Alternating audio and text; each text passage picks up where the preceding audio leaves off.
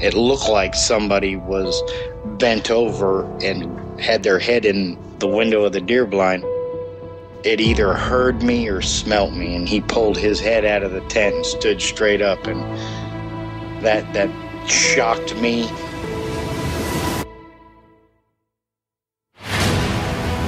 They don't make people that that big. The way it moved, almost as if it was gliding across the beach. I've never seen anything move like that in my life. They were screaming at each other in gibberish. It sounded like a language, and they were chuntering away back and forwards, back and forwards, back and forwards. I know what a bear looks like, and there is no way on this planet that what I saw were bears.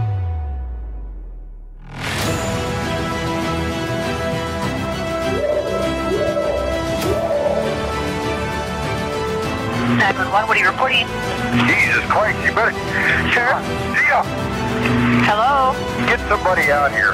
What's going on now, sir? That son of a bitch is about six foot nine, I don't know. Do you see him now, sir? Yes, I'm looking right at him. Uh-oh. Hey, go, go, go, go, go, go. Hey, take Oh, a hey, get away from that. Don't touch that.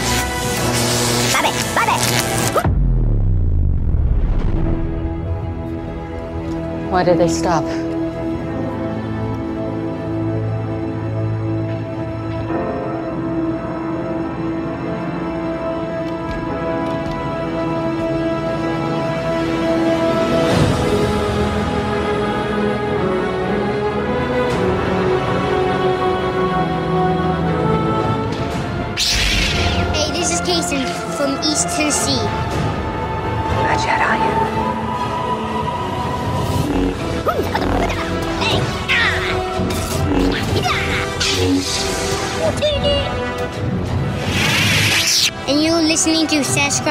Sasquatch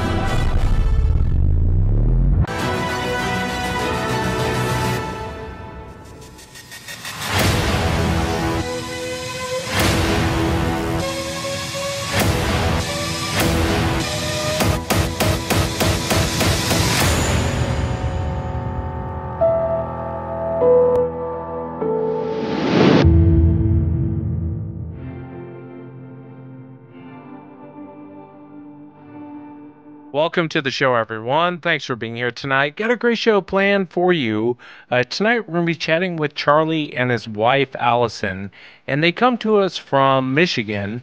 And over a stretch of a couple of years, uh, Charlie and his wife both have experienced very strange things out there in Michigan on this lake where they go to camp and kind of take time off to relax.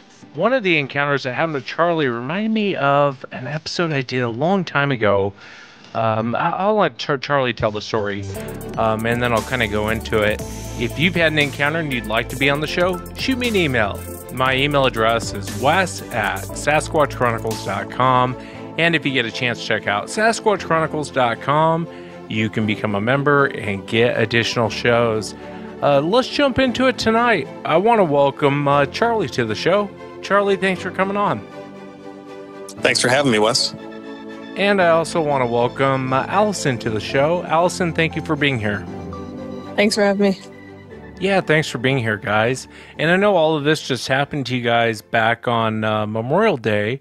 Uh, if you would, Charlie, just kind of start from the beginning. What were you doing and walk us into what happened? Yeah, well, so basically, we have um, we're lucky enough to have a, a large piece of property up in the Upper Peninsula of Michigan, uh, about 50 miles west of Marquette, uh, in an area uh, in a town called Big Bay, Michigan. Um, I'm not sure if you're familiar with with the area, but it's it's it's about as desolate as it gets for this part of the country. Um, oftentimes, people go up there, you know, live in Michigan their whole lives, and they have no idea. It's like northern Canada. It'd be like going to Saskatchewan. Um, so it's it's very desolate. It's beautiful. Uh, we're lucky to have um, really no public access to it. So there's no roads, uh, no paved roads at least. There's no power boats allowed on the lakes. If you're going to traverse any of the lakes, you've got to use a you know an old fashioned rowboat. Um, planes hardly fly over, and just about every every type of wildlife you can imagine is up there. And I've been going up there, you know, since I was a baby. I mean, I think since I was one years old, and I've camped and, and fished and uh, hiked and I've done a little bit of hunting in the area, and I'm I'm very familiar with the um, the you know the animal life that's that's in the area. And about the biggest thing I've ever seen up there is is is maybe black bear. Never seen a moose. Allegedly, they're they're in the area, but I've never seen evidence of them. Uh, there is there is bobcat and uh, you know everything else that you could think of like coyotes. There is a, a, small wolf population that's been growing up in the area. So we um, we decided to go camping up there Memorial Day weekend, sort of on short notice. And when we got up there, we set up our camp and uh, took some time to just kind of relax and take it easy. We did some some fishing and uh, cooked a great dinner and set up a campfire and watched the sun go down. And it was a beautiful night. It was a beautiful dark blue sky with the sun setting behind the mountains. And we were watching stars come out, and a couple planets became pretty obvious. And we just sat there enjoying things like any campers would, you know, minding our business, listening to the to the birds and listening to the crickets. And before maybe I'd say I think what was it about 10 o'clock 10 10 15 ish I think probably right, right around 10 it was about an hour after sunset we noticed this I don't even know how to describe it really I, so many times I've been trying to verbalize it but it, for lack of a better description, I'm just gonna I'm just gonna come out and I'm calling it a UFO because I don't know what to call it. But it was a it was a white bright object couldn't have been more than a couple thousand feet up in the air coming over the horizon from behind a mountain that was probably about a quarter mile away and we watched it as it came closer and i turned to allison and i said what in the hell is that and she said, Oh, well, maybe it's the space station. I said, That's not the space station. And it it started to come closer and it almost seemed like it was literally making a direct beeline right for us. And we just sort of stared at it and it got to, you know, maybe nearly right above us. And it almost seemed like it slowed down as it passed over. It was, it, it, it you know, I, I've thought about this a lot and it felt like it was watching us. It, it, it was that kind of weird sensation. Like you you felt like somebody was looking down at you. I know that sounds crazy but but but that's what it felt like. And as it went over top it's it slowed down a little bit. And and i noticed that it wasn't really a ball. It was kind of like i don't know. It was it, it at one point it sort of looked almost like a, a oblong you know diamond uh, four, three-dimensional diamond or, or almost like a cylinder or something along those lines. And then it just kept on going behind the trees behind us, and we kind of just chalked it up as a kind of a weird experience. So, you know, sitting there, uh, I think I was having some bourbon or something like that, and we were just staying warm by the fire. We were chatting quietly. And about three or four minutes later, about a half a mile away to the south of where we were sitting, and we're at the end of a big inland lake. So this inland lake sits maybe, I'd say, five miles from the shore of Lake, lake Superior. And we're at the end of this inland lake. And it was like everything went quiet. And then I heard what I thought was the sound of coyotes yipping. And you know how coyotes kind of like they start up, they kind of go yip yip yip yip yip, and then they kind of go into their they go into their call. And I'm familiar with that. I've heard them before. And they went it went yip yip yip, and then went real high, and then it continued and went really low, like something was was was grunting, like almost like grunting in pain, like going, Rrr, Rrr. and then it overlapped. It was like an overlapping sound of these screams uh, just this. I mean, it was blood curdling screams. Like I thought something was getting torn apart, or or something was tearing something apart. I, I don't know. And then it, it kind of cascaded back into the yips with more screams, and then almost what I would say are kind of like yells.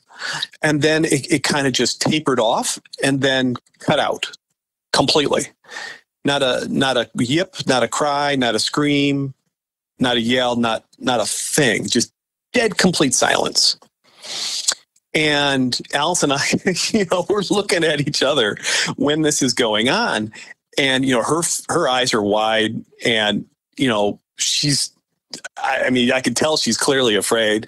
I'm just sort of stunned because I've been camping there for for decades.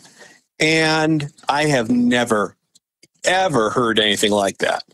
Um, and I've heard a lot of I've heard a lot of wildlife down there.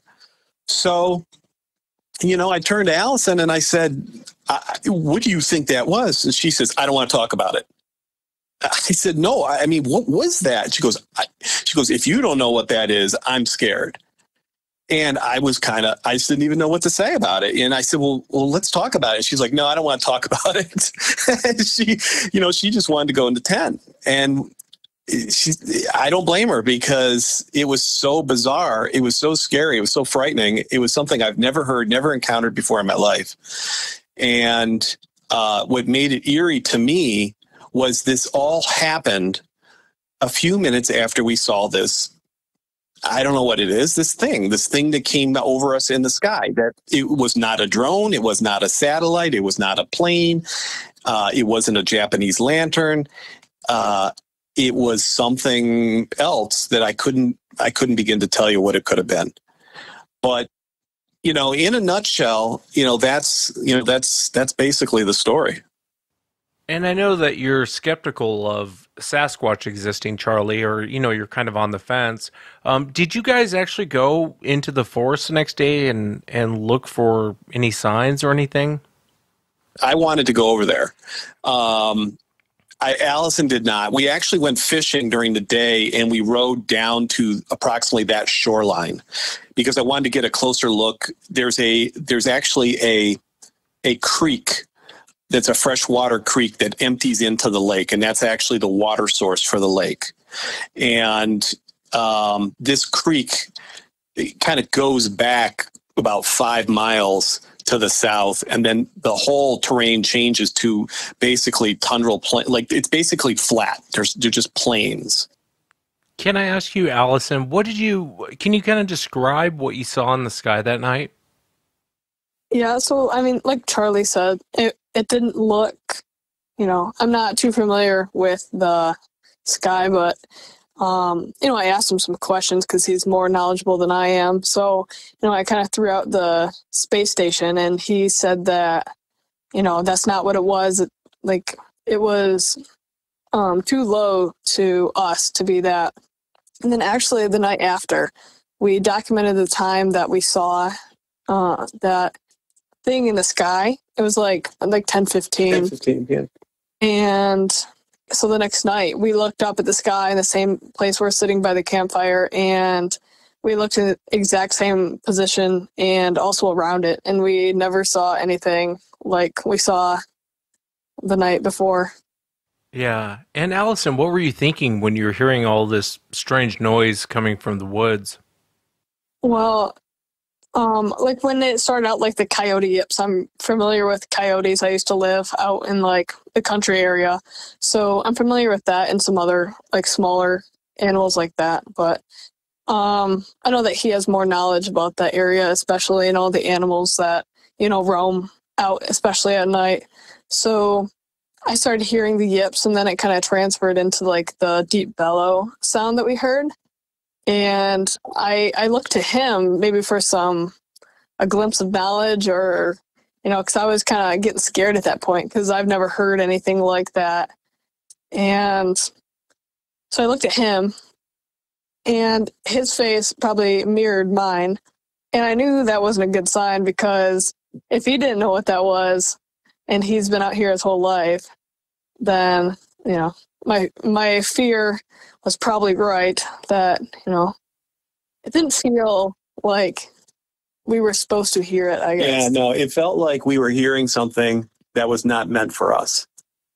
So I well he after we heard that, and I think I tried to talk to him during while we're hearing it, and you know he, he kind of looked at me and you uh, know we wanted to finish hearing the rest of its call or whatever it was, and then afterward he was kind of excited, but at the same time like had the same feeling of fear as I did, and he was he wanted to talk about it, and I'm like, like no, I'm like we can talk about this when we are on our way home, and he goes no, let, let's talk about it. What was that? What what did we just hear? And I was like, yeah, I think we should um, just go in the tent and maybe wait until morning, and maybe I'll talk about it then. Charlie, when you were hearing that, is there anything you would compare it to? Yeah, absolutely. And, you know, this is kind of what encouraged me to call you. I mean, Allison actually had, had mentioned, we've been listening to you. Um, well, Allison's been listening to you for much longer, but she kind of got me into listening to you in the spring. And I'd, I'd probably heard maybe three or four episodes. And, you know, I, it's, it, I, the topic's interesting to me. I, you know, I'm not sure if I'm a hundred percent believer or not, um, but I'm, I'm not a skeptic either. And so I've been listening to those podcasts and you know, I, I particularly was focused, been focused on the ones coming out of Michigan. And, you know, I was, I was listening to it Saturday night, this, this most recent Saturday, and you played an audio clip from, I think it was, I think the, the episode you played it in the one I heard was episode 751.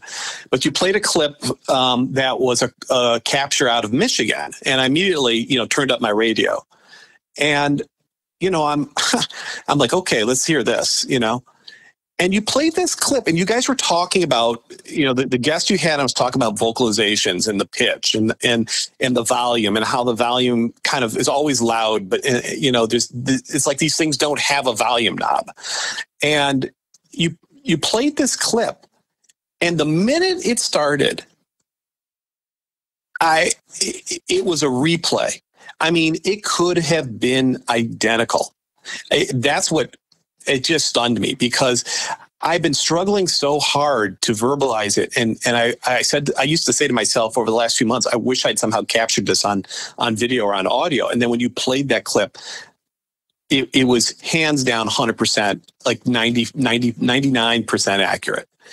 And I, I just, I don't know what animal to compare it to other than to me, it felt like three or four different animals all strung together, sometimes overlapping.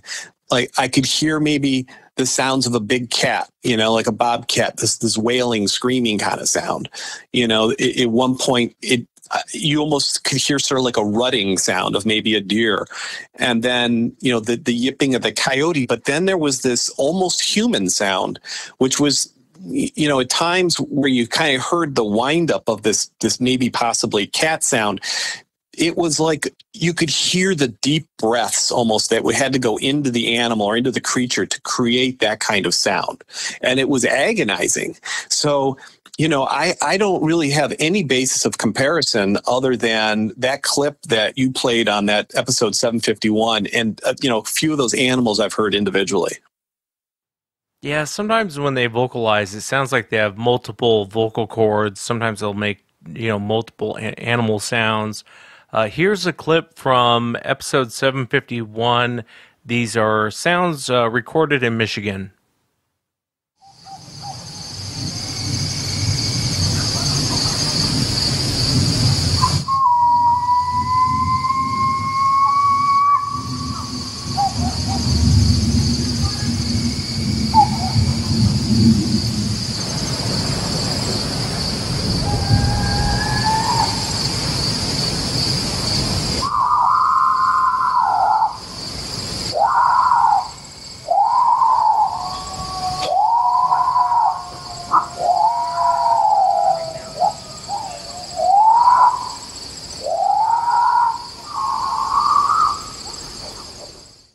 I played it over and I played it probably 20 times in the last two days. I gotcha. Be- I gotcha. Because, because I, it's just, it's so stunningly similar. And when I heard that was out of Michigan and it, it sounded so identical.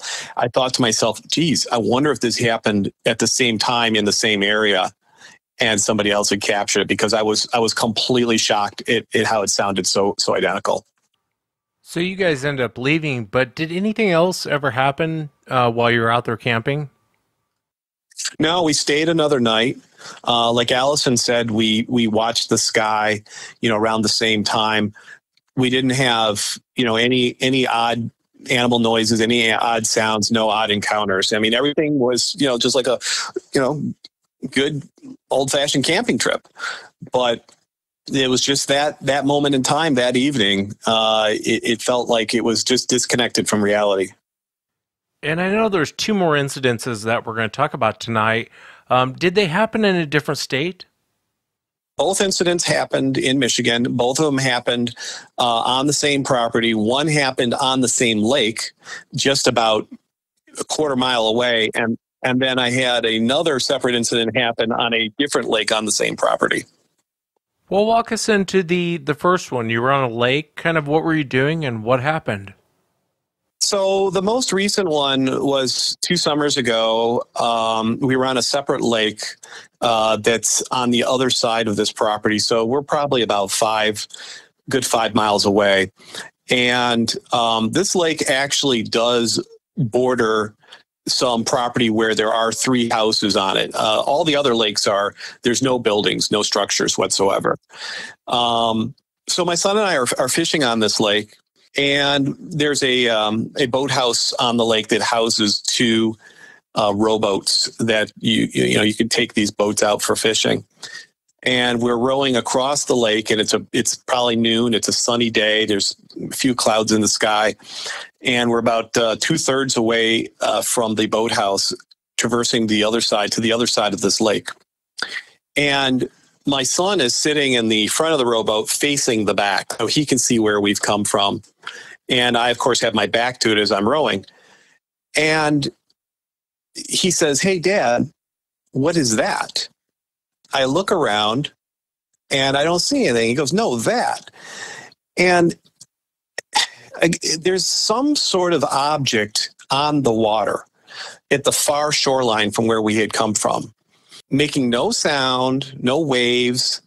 The, the lake is flat as can be. I mean, you can see every reflection. I actually have a photo I can send to you if you would like to see it.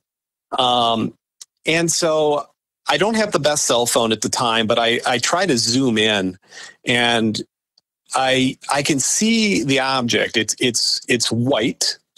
It looks like your standard, you know, propane tank that somebody would have in their front yard, you know, that, that they, you know, they fill up for the winter, like the big, the big ones, um, almost like a submarine, really.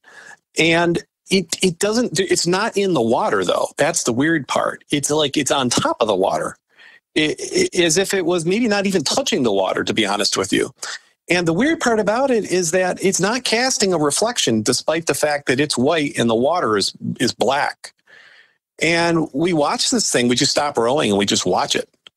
It goes, I mean, I'd say the width of the lake at that point is probably, I'd say, maybe four or five football fields long. And the thing's probably going three to five miles an hour, maybe walking speed. And it's just silently going along, going along, going along, going along. And it gets to the shore, and I'm thinking, okay, you know, what's it going to do now? And it just goes into the woods it just goes into the shore. It just disappears into the woods. It, it didn't. It didn't even move. It's like it didn't even go up. It just whoosh disappeared.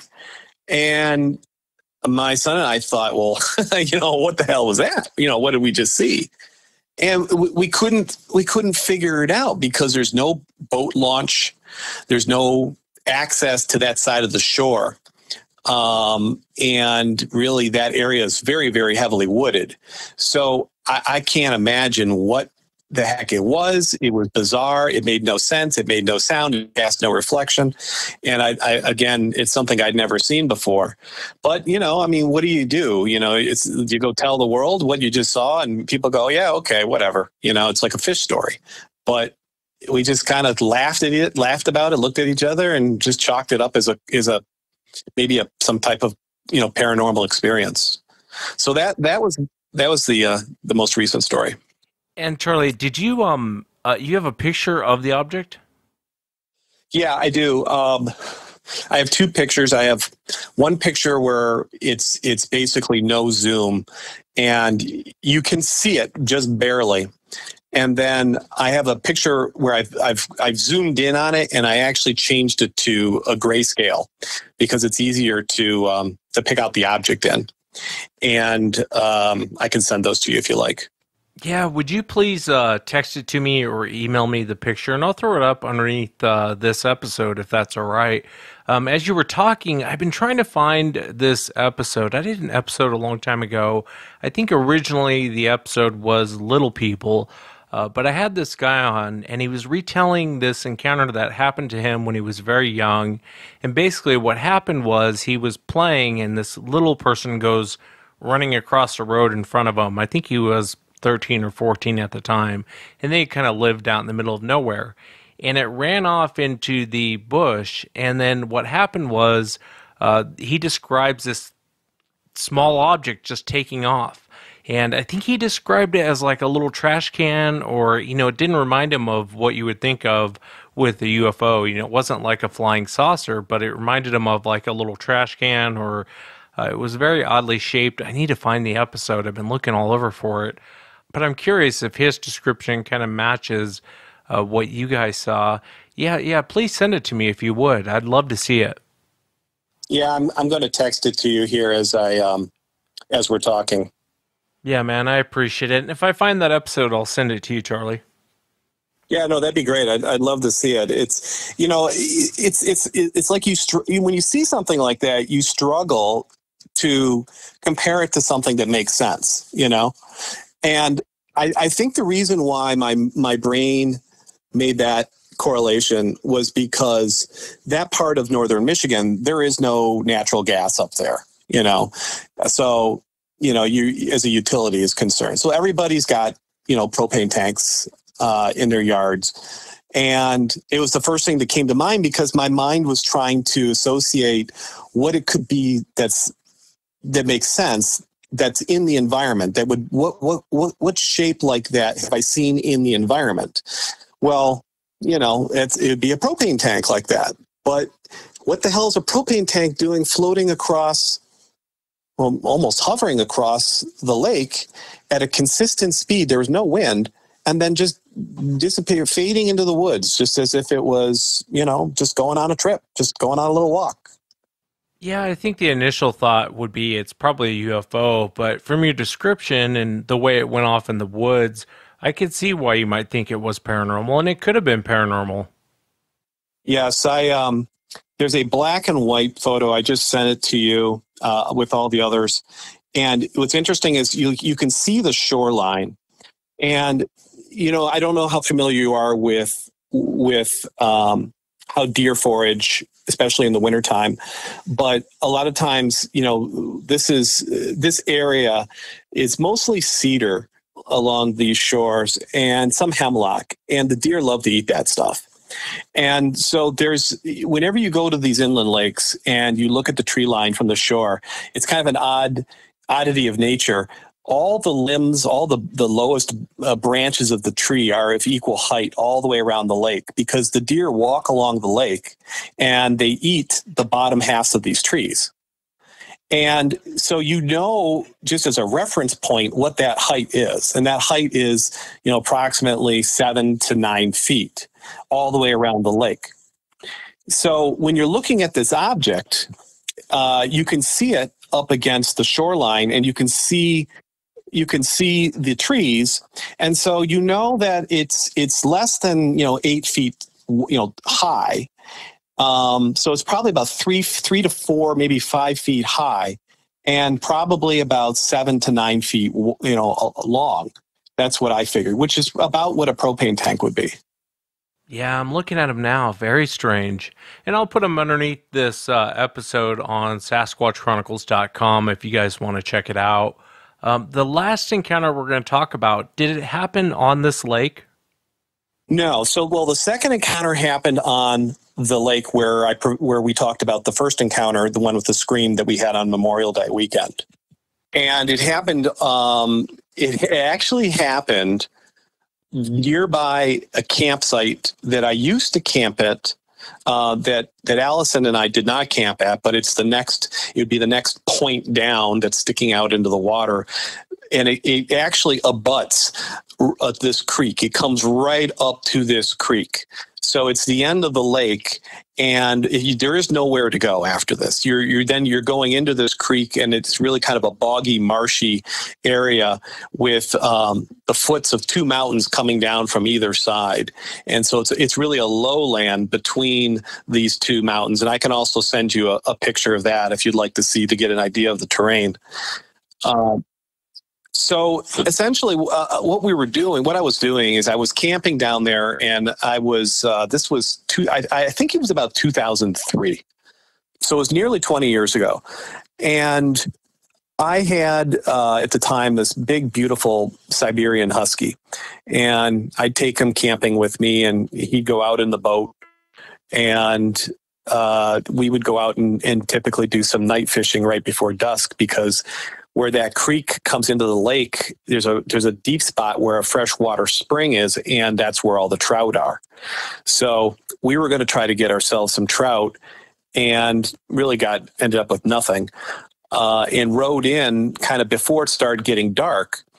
And this campsite is situated on an outcropping of rock that comes into the water. And there's a small bay, and there's a sort of a lily pond almost. Uh, so sort of like a almost like a crescent uh, shaped uh, bay. And we're rowing in, and we're coming in very quietly. And all of a sudden, the dog gets up and runs to the, the, the front of the rowboat and puts his paws up. And he's clearly sees something or hears something. And I'm, you know, I'm saying, you know, what are you doing? You know, what is it? What do you see? You know, and he looks at me and he looks back at the shore.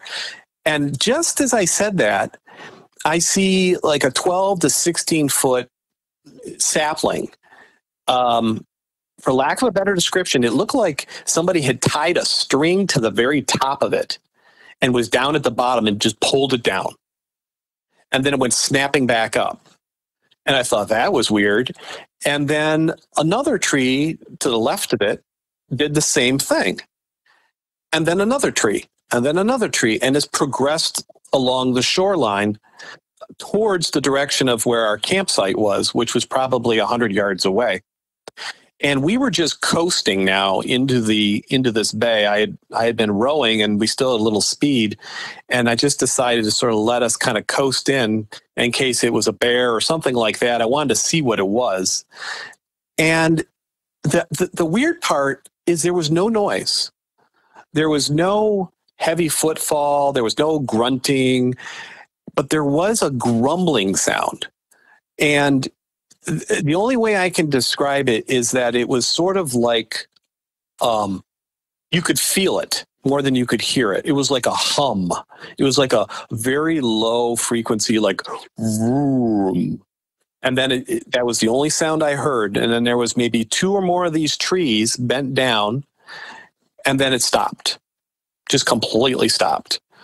And so uh, I stood there or sat there in the boat. The dog stood up on the on the end and he's he starts to bark now. And nothing went running. There was no, you know, scattering of an animal or anything like that. And so just to be on the safe side, because I, I just wanted to make sure it wasn't a bear, we actually slowly rolled in, rode into that that spot where we saw the last tree bend. So I was about maybe 10, 12 feet offshore so I could peek in there and there was nothing there. There was there was nothing there. Now we pulled up the boat and got out of the boat, and the dog ran over there, and I got to the spot approximately where the where the uh, you know where, we'd seen that that last tree bend. And we didn't find anything. We didn't find any you know trees or or brush or anything that looked like it had been broken or snapped. The one odd thing we did find and I, I, it's probably just coincidence is we did find two trumpeter swan carcasses that looked like they had died uh, you know several days before I don't. There, once every seven years or so, these swans will migrate up to the area, and that happened to be one of those years. But I didn't really make any association with with that in in what we saw. but yeah, that that's that was it, and and nothing else happened that night. Uh, it was a normal, quiet night, and uh, you know, I thought maybe it's poachers coming up a trail because um, there is a trail that that does go back there uh, that sometimes poachers will come up. So again, you know, very bizarre and and something that I never really even thought about again until we heard those screams on Memorial Day weekend, and then I started thinking, wow, you know. I had that 20 years ago, and then two years ago, the thing that my son and I saw, and now this thing in the sky and these screams. That's kind of that's kind of a lot of stuff. So so yeah. Yeah, it definitely sounds like a uh, strange place to camp. I can't imagine poachers grabbing the top of trees and pulling them down. You know what I mean? Yeah, it makes no sense. And you see, the, the weird part, the, the reason I thought it was weird, and it's funny, I remember after it happened, I was trying to describe it to uh, somebody else who, um, who uses the property. And I said, You remember that movie Jurassic Park? You know, with the dinosaurs. And you know, they're like, yeah. I said he was kind of like that. I was expecting the Brontosaurus to kind of all of a sudden stick up his head, you know, or something, something that maybe start eating the top of the tree. You know what I mean? And it, it, was an unnatural bending of the tree too because it didn't make sense. How could the tip of the tree bend down like that? Where are you going to grab it on the tree to to make it bend that way? And it was just i you know i don't even know what to think about it. It's just it, it happened. It was strange. It didn't make any sense. It was bizarre and then it just ended. Yeah, it's very strange. The the noise that you heard, um, would you describe it more like was it more like a growl or was it more mechanical sounding? It was definitely not mechanical. Um, yes, it, it, it, you know, and it's funny because Alice and I have been interested in the Michigan Dogman story. So, um, you know, we've listened to a couple of your podcasts on that, especially the uh, the wildlife biologist who um, gave a, a pretty thorough accounting. I guess he took a shot at it with the 45 and it just bounced off his head. You know, it, it didn't sound canine. It didn't sound like a bear or anything like that. It sounded like a multi species. It sounded like it was trying to, co- it sounded like something somebody was trying to copy four different animal so- sounds at once and, and, and, and spit them all out at the same time if that makes sense. Yeah, that definitely makes sense. You know, a lot of times when these creatures vocalize, people will describe it as uh, multiple animals or something with multiple vocal cords, uh, as we talked about there in the past. But uh, let me ask you I know you're on the fence eh, with regard to if Sasquatch is real or not, but if you had the opportunity, would you want to see one? Well, you see, here's the irony: we're we're going back to that spot uh, this coming weekend, and you know, Allison's a little nervous about it, and and I am, I guess, a little bit too. I, I, I mean, I think the odds of of having that kind of encounter are pretty low. Again, at least if I look at it in the context of going up there my whole life and never hearing that, but. I don't. I don't know. Uh, it's it's a hard it's a hard thing to answer because I don't know what I would do. You know, part of me is really, really curious, and I really want to see something physical that I can match that that sound up to because I, I can't process in my mind what could make that noise. Um, if I could witness it, and I could witness it in a, in a way that was safe, and I knew that I had a way out, I definitely would. Um, if I was wandering through that area, and I know that area well, and I came up on it, uh, it's not like an area you can run through. You know, I mean, you would, you would, you would get tired way before it would. I would imagine. Um, and you know, if it wanted to get you, it would get you. Uh, and I, I don't know if it's if it has that motive or not, but you know, part of me wants to see it and wants to know what it was, and then part of me is very, you know, after seeing what we saw in the sky and and recollecting the the previous two experiences, I mean, clearly there's something going on. Whether they're related or not, I don't know, but you know, curiosity. The curiosity is strong. It's just at the same time, my my my sense of self preservation is stronger. So. I get it. What about you, Allison? If you had the opportunity to see one of these things, would you want to?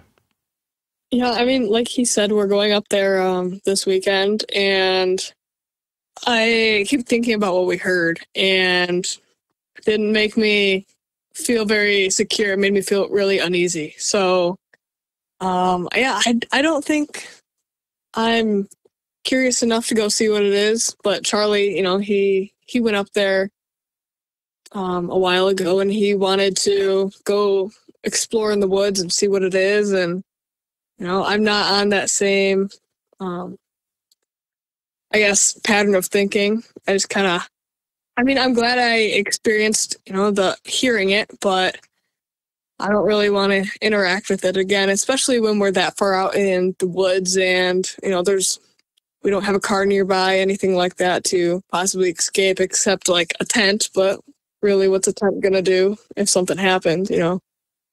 Yeah, be careful if you go back. I know curiosity will overtake us sometimes and we'll set aside common sense because of curiosity and I've done it many times done a lot of stupid things because of curiosity. But uh, let me ask you, and I ask everyone, Allison, what do you think Sasquatch is?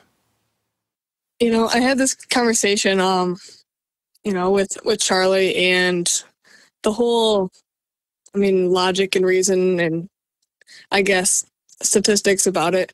We only know a portion of the ocean, and I feel like we don't know. We definitely don't know like what is all out there the ocean or on land. So there there's definitely a lot of people that coincide with the same things and what they heard or saw and there's different versions of it and varieties of it but it all kind of is in the same category and relates to one another so i'm probably a bigger believer than maybe charlie is but i definitely think you know we don't know everything about the world or the universe do you think it's more physical, like uh, a primitive man, or more animalistic, or do you think it's something else?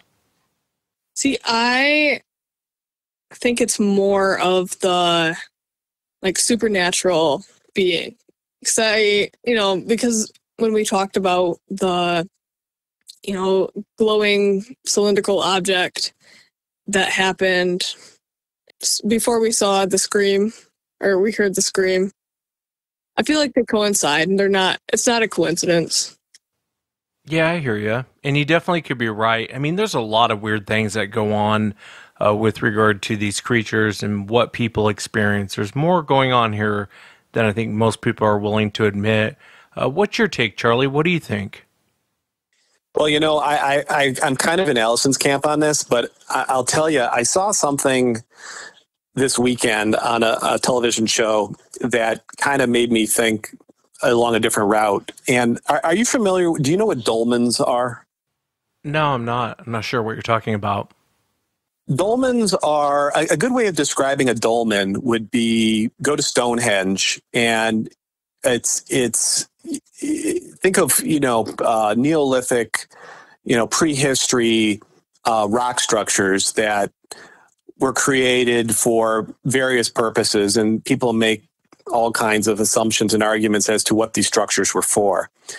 Um, there are quite a few of these dolmens uh, throughout Europe and some of the northern latitudes, and the, the the show pointed out some characteristics that actually line up with a dolmen that exists on this property. Um, it's one of, I think, six or seven in North America that are known to exist. And this dolmen is on the top of a mountain and it faces, um, I guess it faces south. And so that would be inland. So that'd be fa- not facing out towards Lake Superior, but inland to, on the same lake that we were on, incidentally. And the dolmen is a about a 15 well people figured it's it's somewhere in the range of of a couple of tons it, it doesn't look big but it is big it's heavy uh, it's probably about the size of um, oh i don't know i would say if you if you chopped off the back end of a car about the trunk and it's it's positioned on top of three rocks so uh, to get it up on these three rocks would take incredible manpower even using like a lever to do it. Um, it, it's no small feat. And there's been a lot of speculation as to what this was for. Was it for, you know, some believe that it, it was a marker for hunting parties when we had land bridges and they used these things to basically kind of traverse the area and, and, and follow game.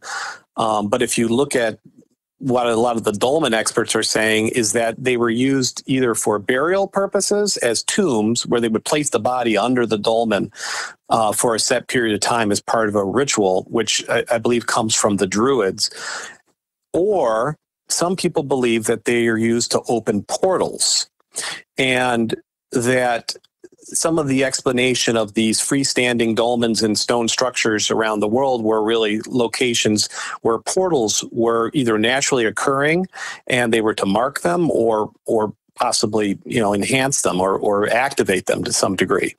So you know i was thinking about it just over the last few days what is sasquatch right? And there's this thing this dolmen structure on the property. Could that be a relationship? Could in fact the dolmen mark a a portal? What's what's interesting about the area the geography of the area it's, it's all precambrian rock it's part of the canadian shield. And it's it's it's basically two and a half billion year old exposed rock. It's very hard to find that in north america. You have to go down to north carolina and dig down about 60 feet and that's where they do all that emerald mining. Um, so this is ancient rock, and this rock is just chock full of quartz veins. I mean, there are quartz veins as wide as your leg that just stripe these rocks. And theory is a lot of people believe quartz absorbs energy. Um, I don't really know enough about it to to be an expert on it, but I think it's unusual that you know this stuff is occurring uh, in the area and on this lake and that dolmen is not too far away, uh, you know, maybe a mile or two row down the lake. And with that being said, you know, if you if you believe that the dolmen has any significance and maybe marks a portal, maybe this creature is accessing this area to to manifest itself in you know here. I, I don't know. I think it's flesh and blood, but I my gut feeling is that it's not native uh, I, I don't feel like it's some type of indigenous creature that survived prehistory. It just feels too alien, and and the fact that we just don't have enough physical evidence or fossil record to to say, hey, look, this is here, it makes me feel that it's something that's transitory. It comes and goes. It comes and goes. And whatever the purpose is of its coming and going, I, I couldn't begin to, to imagine. But I definitely think it, I mean, interdimensional, I don't know. Paranormal, maybe.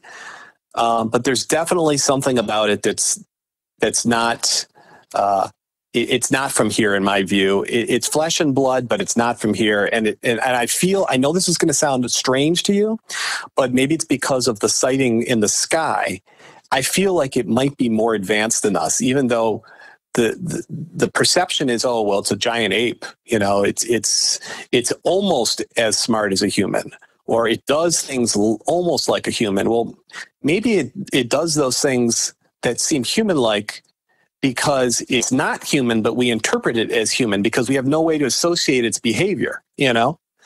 So I, I think it's something that comes here. I don't know from where it comes, and it, it obviously has a purpose or agenda um, or, or, a reason for being here, but flesh and blood, yes.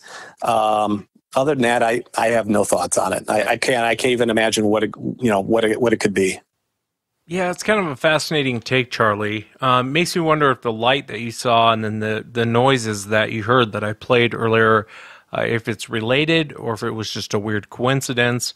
Uh, no one really knows. Uh, your your take on it though is fascinating. Makes me think. I'm gonna have to really look into the the dolmen because it makes me think about uh, why are they seen? Why does every nation on this planet have a name for this thing? The description's the same. The behavior's the same yet no one can catch up with it. It's bizarre. Bizarre. I really appreciate uh, both of you guys coming on and taking the time to share what happened to you. Yeah, you're welcome, Wes. I'm glad we could could share them with somebody where where well it might be appreciated because you know it's not like the kind of thing you can talk to your uh, your office workers about. Yeah, I hear you. And let me know.